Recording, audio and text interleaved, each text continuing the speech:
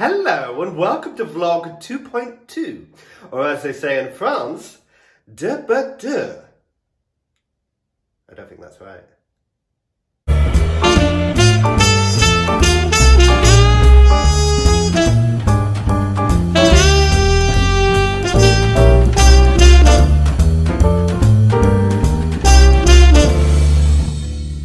Hello and welcome back. Thank you for joining me. We've had an exciting week for theatre with some live theatre. I know. I'll tell you all about that later. And plenty of online content that we also have to discuss. Starting with the Barricade Boys. This week, they released their fifth anniversary video of Bohemian Rhapsody. Yes, that's right. It's been five years since Scott Garnham and Simon Schofield put together the Barricade Boys at the Charing Cross Theatre. I was at that first gig and it was amazing. And the boys have gone on to become global superstars. Touring around the world, they will be back with a brand new tour next year, hopefully. But in the meantime, you can catch their video of Bohemian Rhapsody on this YouTube channel. Nothing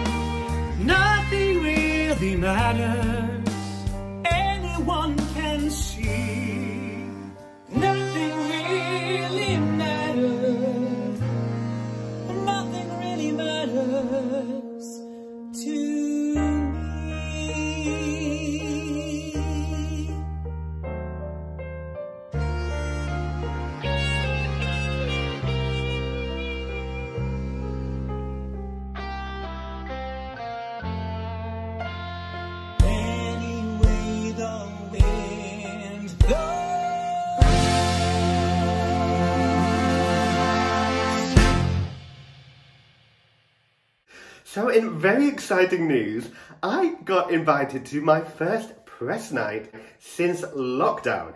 It will be on August the 11th at a brand new garden theatre at the Eagle Pub in Vauxhall. They will be staging a brand new production of Fanny and Stella, the hit musical written by Glenn Chandler and Charles Miller. Glenn Chandler is a brilliant writer whose work The Good Scout I saw last year when it transferred down from Edinburgh to Above the Stag. Now, Fanny and Stella is a true story based on Ernest Bolton and Frederick William Park, who were two young Victorian men in 1871 who were put on trial for dressing as women. Now, I didn't get to see this production at Above the Stag, so I am really excited to get the chance now. Former artistic director Peter Bull is now producing this with LAMBCO Productions, and they have got a brilliant cast with Jed Berry and Kane Verrall leading the cast, which includes my pal Alex Lodge and the gorgeous Kurt Kansley, along with Mark Pearce and Joaquin Pedro Valdes. Now, the producers have been very sensible with this one. They are only staging three performances per week on a Monday and Tuesday across August, just to see how it works out. And then hopefully, if it all goes well, they will add further dates later in the year. So it will be a outdoor production with a limited capacity of around 50 seats. So if you want to check it out, you've definitely got to book now. Now in sad news, the Crucible Theatre in Sheffield, where everybody's talking about Jamie originated, have announced that they will be closing until 2021, with the possibility that a third of their workforce might face redundancy.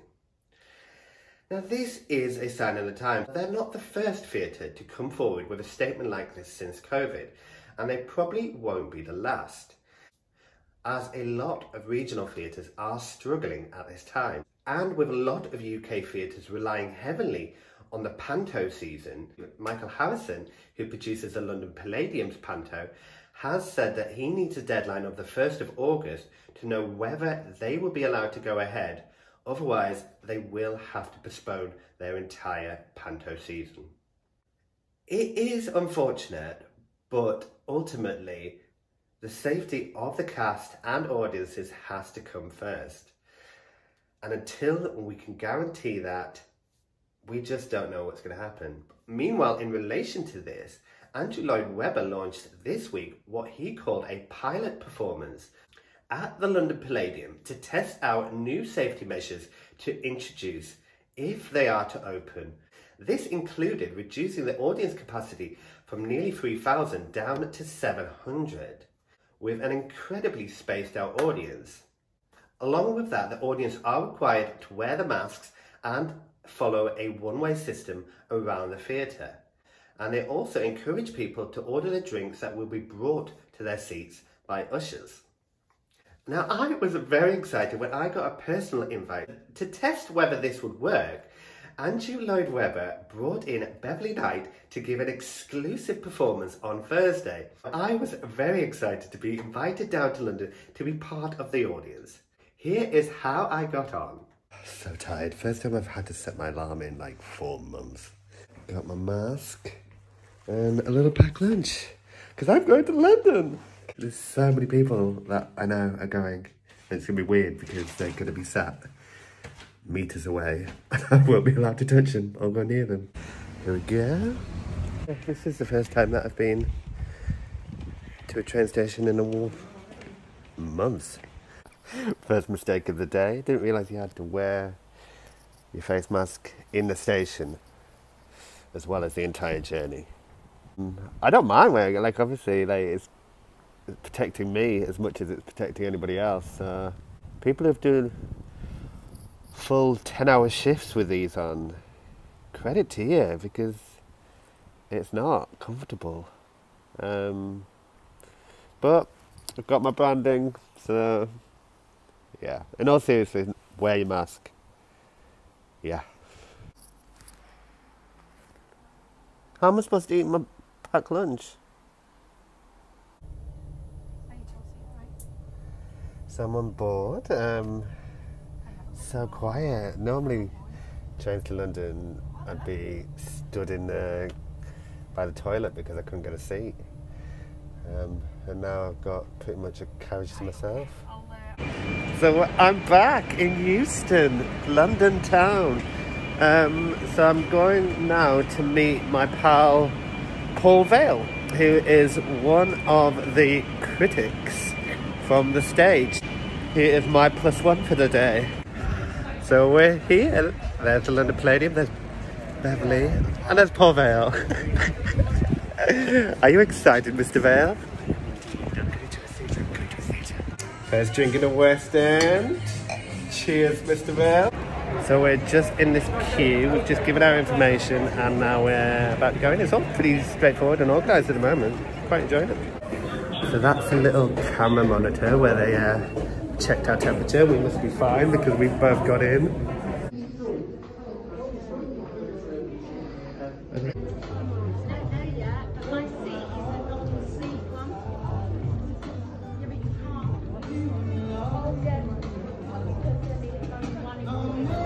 So we're here, we're in the London Palladium. Um, right at the back. Don't know why that is. What's on the menu, Dolly? Well, today we have rosé red and white wine. We have beer. We have soft drinks and spirits, gin in a tin, and we can do you some crisps. Nice, thank you very much. What are you starting to fill it? There are uh, the producers Brian and Jack from Take Two Theatricals. And over there we've got Eliza Jackson chatting to Ian Stryer from, well, aka Vermicelli. They're all here today.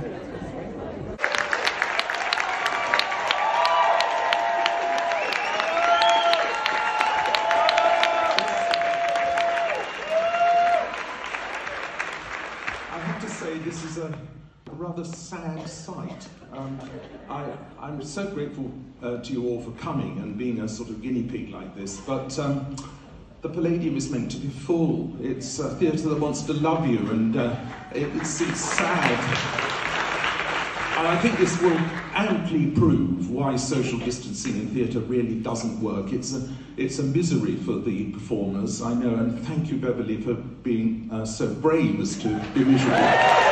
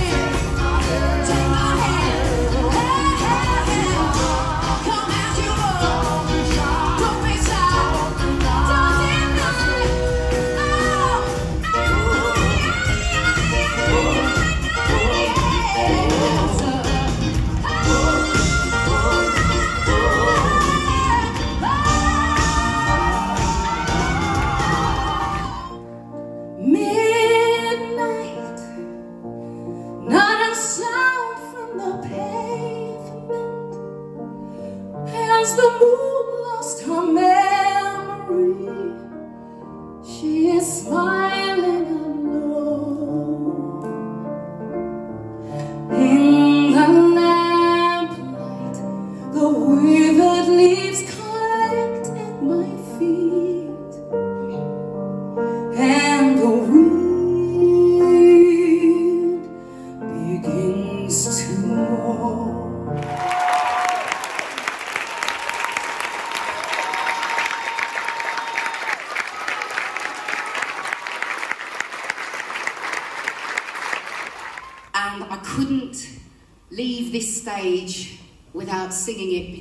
sentiment is so perfect for for right now.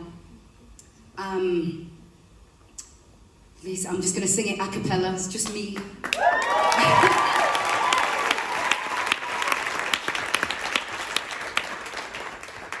Benny King wrote this song a very long time ago when he was called Ben Nelson. It's just stunning. And it goes like this. When the night is come and the land is dark and the moon is the only light we'll see. Wow, so Beverley Knight was incredible. Sensational. She is uh, everything. Sang all the songs from her back catalogue, well, not all of them, because she got so many. Um, and then a couple of songs from Memphis and Bodyguard, um, and then obviously Memory from Cats. It was a brilliant evening and such a lovely afternoon getting to see loads of my old friends um, in such a weird environment. Um, yeah, it was an odd experience. I'm not going to lie. Watching theatre with a mask on was difficult. It was hard to talk to people, engage with people. Obviously, you couldn't really speak to anybody you saw because you had to keep distance. Um, but yeah, like I love theatre and yeah, what a day. I'm Not gonna lie, my new jeans are chafing like a bitch. I'm vlogging, I'm vlogging. I'm vlogging, I'm vlogging. Don't. So there we go, back on the train after my day out in London. Now it remains to be seen whether this pilot performance will make any difference and whether this system can be adopted and rolled out across UK theatres.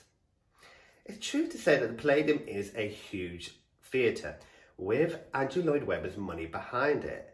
But even the Palladium will struggle to become economically viable with only a 25% audience capacity. Elsewhere, the Regent's Park Open Air Theatre have announced a scaled back concert version of their smash show, Jesus Christ Superstar, which will be running for six weeks from the 14th of August, with nine performances a week.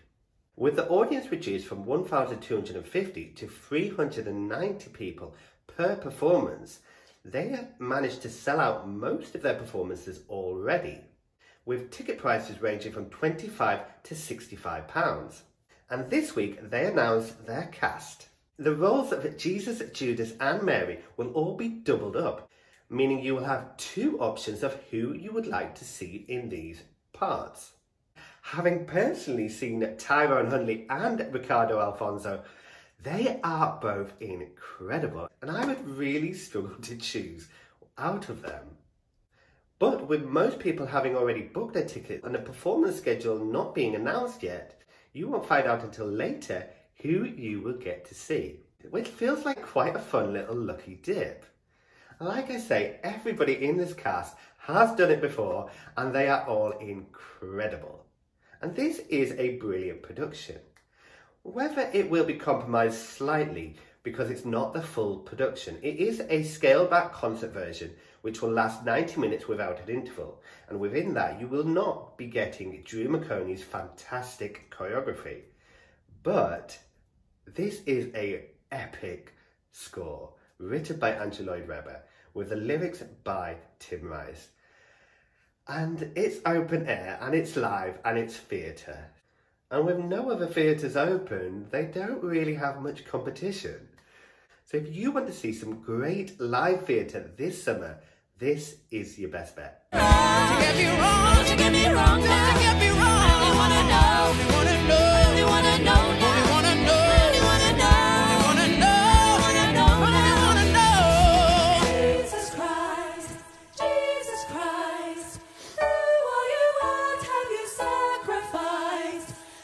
Also this week it was announced by the producers of Dear Evan Hansen and The Book of Mormon that their shows won't be returning till next year. Unfortunately, they announced this without telling the cast or creatives.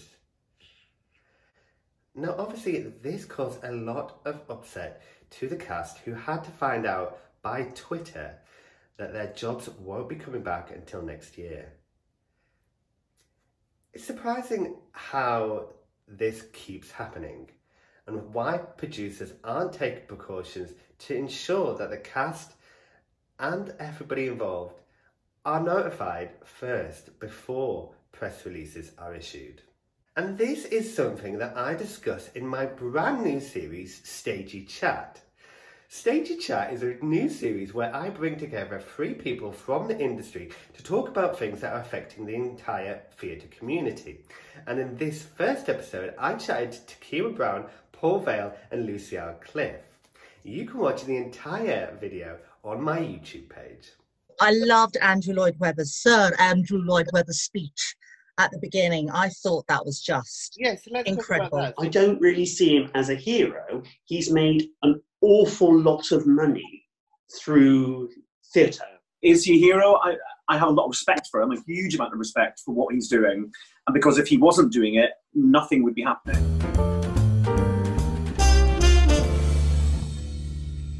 I am really, really proud of this episode, and hopefully I will be making more of them. Over in Cirencester, the incredible Barn Theatre have opened this week their Barn Fest, a series of socially distanced performances from their own courtyard. Starting off with Tweedie Clown, who sold out both of his first shows. There is lots coming up, including the touring production of A Midsummer Night's Dream and instructions for a Teenage Armageddon that I saw earlier this year at the Old Red Lion. This is a fantastic one-woman show that blew me away. It's coming to Barnfest between the 10th and 15th of August, so if you get a chance, go and check it out. Also appearing in a brand new show called Funny Gals is Natasha Barnes and Vikki Stone, who'll be appearing between the 5th and the 8th of August. But if you can't get out to Cirencester, then they will be bringing it to the New Normal Festival in Wandsworth on the 12th of August. Now, Iwan Lewis and Jamie Chapman Dixon at the Barn Theatre are doing an incredible job of programming new work as these changes in regulations are happening.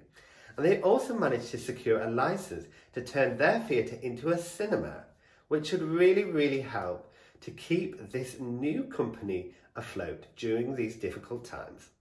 Now also this week, R&B artist Wiley made some anti-Semitic statements calling Jewish people cowards and snakes.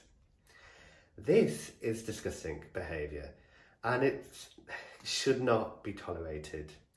I personally don't know who Wiley is. I've never heard his music. I have, however, reported all the tweets that I saw. And I'm also using my platform to stand in solidarity with my Jewish friends to stamp out this type of behaviour and to make it clear that this is not acceptable.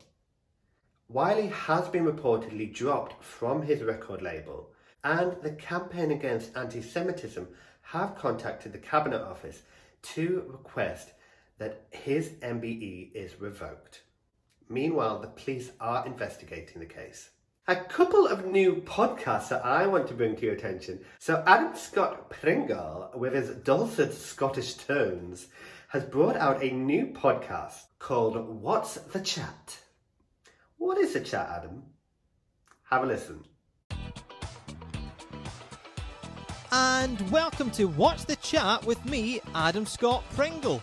This is your new podcast for all things weird, wonderful, and everything in between.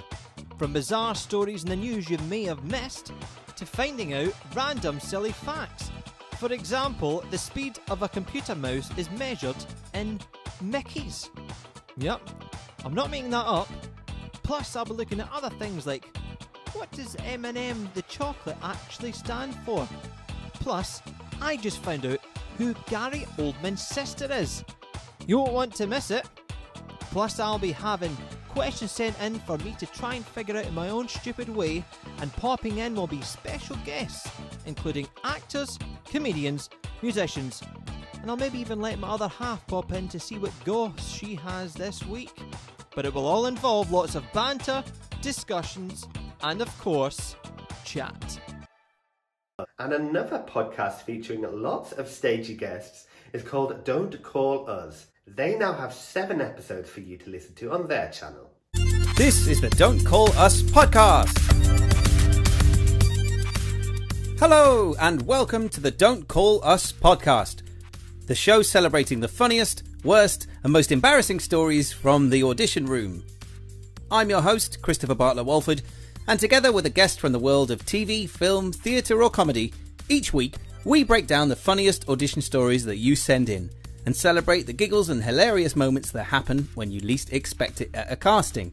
Maybe you went to a dance call, went for a really ambitious flip and ended up in A&E, or you've prepared completely the wrong material for the wrong show, or misjudged the tone of the humour in the room. We want to hear it. Having spent almost 15 years working as a performer and a casting director, I'll be sharing some of my tales with our guest and having a giggle at ourselves at the same time and not taking it too seriously. Whilst remembering, it's not the end of the world, and at least the panel remember you. Now, James Robert Moore and Kate Golledge have announced their production of Poster Boy, an adaptation of the brilliant book Out in the Army by my pal James Wharton. I saw an early workshop of this production and it is brilliant. It is being produced by Army in the Fringe as part of their virtual Fringe. And free tickets for the performance on Monday the 17th of August are now available. With a cast that include the brilliant Debbie Chazen and Idriss Kargbo. In some exciting news, Jamie Birkett announced that she is pregnant, and I am delighted for her. And Stephanie Fearon has announced her pregnancy as well. They did say there was going to be a baby boom as a result of lockdown, and Jamie's little fella will, oh, I don't know if it is a boy, will be due later in the year. I'm so excited for her. Congratulations. In some brilliant news, 42nd Street is going to Paris. Directed by Stephen Mear with Cedric Neal playing Bert Barry. This is going to be a stunning production.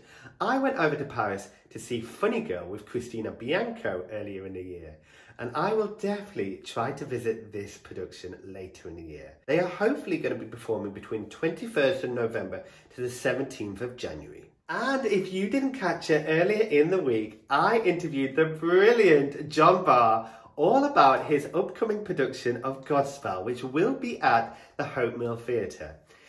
If you want to know anything more about that, look at their website. But meanwhile, here's a little snippet of the interview with John Barr. Hello. So I said to Steve, and I said, look, a friend of mine's playing Pippin. I was very fortunate to be in the Mis movie Convict 5. I know she'll wait. I was 12 years old. I was in um, Oliver. Is this theatrical enough? 43 years in show business this year. Wow. Slave to your craft. Absolutely. It's all I can do. That's how dedicated I am, Phil. Oh, I know. Well, my, my mum basically knew I had to go on a diet. The only way the extras kept warm was by peeing on themselves. Oh. Because it was like a Fosse routine. Everything was very precise and oh, what a circus. Went, stop, stop. Kind of go, really? But I'm not that kind of actor. Look at me holding a cigar now. Look, oh, what? I don't think it ever leaves you, even though you get old and you maybe can't get that leg up. Johnny, when you go on, don't use a cigar. You look like Bette Davis. He is a legend, and I loved chatting to him. You can watch the whole interview on my YouTube channel. On Friday, I watched the second in the series of Alice Fearn's intermissions. Oh my god, it's brilliant. She is in I she makes me she makes me sick. Not only is Alice Fearn one of the best vocalists we have in this country, as well as being a damn fine actress. Anybody who saw her as Elphaba will testify how brilliant she is. Not only that, she is now a brilliant TV host and presenter.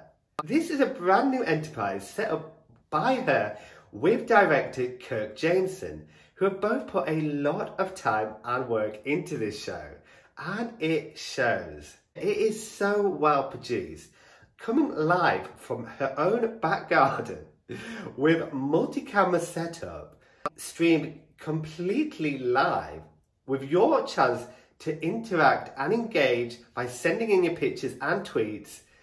They have Nick Barstow, the incredible musical director, live on the piano, and each week she has a couple of fantastic guests. This week they had the brilliant Emma Lindars, Joe Tracini, and Sam Tutty. And stunning. And at only £9, it is brilliant value and definitely the best online content you will find at the moment. Apart from this blog, obviously. Although, honestly, Alice, if you're ever going to take intermissions on tour around the country, come to Cumbria. I would love to have you in my back garden.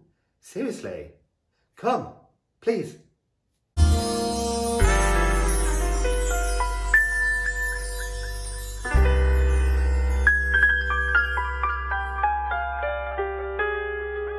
I was in absolute awe of Alice and her team. Honestly, congratulations to the entire team. Here is a little snippet from the show. I said you'd be hearing more of her, and I don't lie. This is Emma Lindars.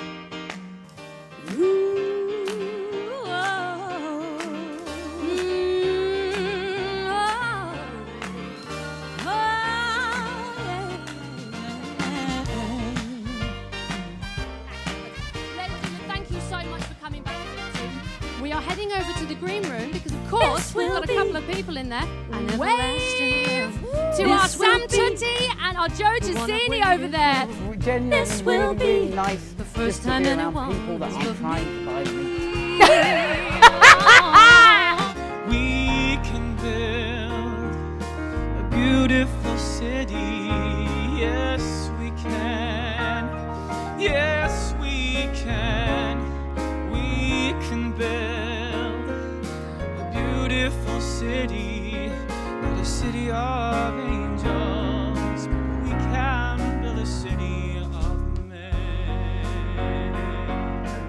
You didn't recognise it, was Sam singing Beautiful City from Godspell. And he will be taking part in the Godspell online concert at the Hope Mill Theatre as well. Congratulations to the entire team of intermissions. Now, Kirk Jameson and Nick Barstow will be teaming up again for a musical review of Work of Kander and Ebb, running at Barnfest from the 24th of August to the 5th of September. So there's another reason to visit the Barnfest. So on Sunday evening, it was the return of a Mad Drag Night, the jewel in the crown of Mad collection of charity events. So this year, Mad Trust have organised a special COVID-19 emergency relief fund, which all the donations raised from this evening will go towards. If you haven't been to a Mad Drag Night, this would have been the sixth one, having started in 2015 at the Hippodrome Casino. Put together by David O'Reilly, Sean Parkins, and David McMullan. It is honestly a sensational night out. These guys put on a show to end all shows, full of incredible routines. They don't make them beats like they used to, they don't make them beats. They don't make them beats like they used to, they don't make them beats. They don't get their life like they used to, they don't get their life. They don't take the night like they used to, they don't take the night like they used to. They don't snap that snap like they used to, they don't snap that snap. They don't click click clack like they used to, they don't click click clack. They don't push that back like they used to, they don't push that back. They don't bump that track like they used to, they don't bump that track like they used to. Dance till the night dies, till the night dies lit. We gon' pose for that spotlight, we gon' dance till the night dies. They don't make them beats like they used to, they don't make them beats. They don't make them beats like they used to, they don't make them beats. They don't get their life like they used to, they don't get their life. They don't take the night like they used to, they don't take the night like they used to. Who told you, child? They don't make them beats like they used to, girl.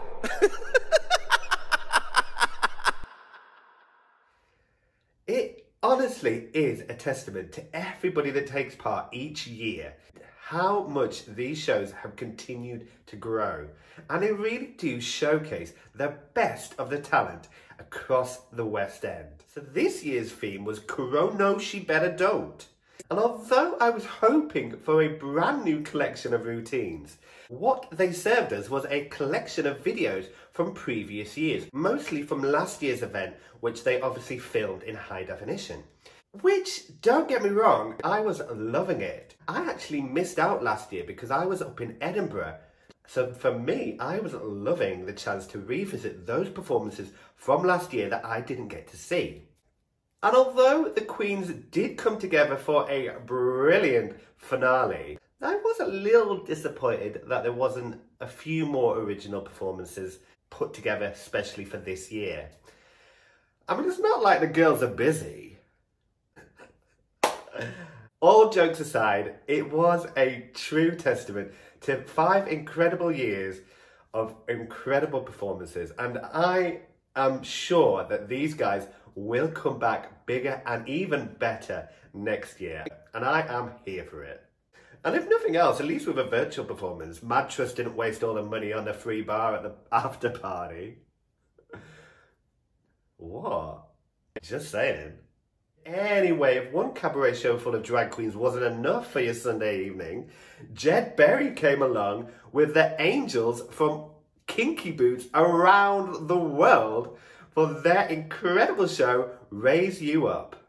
I mean, I don't know how he does it. He should be busy learning his lines for Fanny and Stella.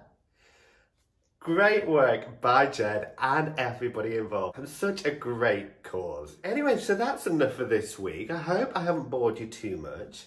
Hope you found something that you enjoyed out of all of that. Please do let me know what you think. Like and subscribe if you don't mind. Just make me feel better. And I will see you next time. Bye bye. Hey, this is Stephen Schwartz, and I'm delighted to announce that the 50th anniversary celebration of Godspell, produced by Gingercliff Media and the Hope Mill Theatre, is now on sale. This concert is in support of great causes, including Acting for Others and the National AIDS Foundation. Please join me and an absolutely spectacular cast, because even in these challenging times, we can build a beautiful city. a beautiful city, not a city of angels, but we can build a city of.